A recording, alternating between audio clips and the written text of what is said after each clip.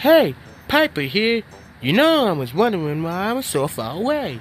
You see, far away means very, very small. And when something is close, that means very big. Far, small. Close, big. Phew. And now, I'm going to sit right here. Not too far, not too close, but right here. And it's perfect to watch Nick Jr.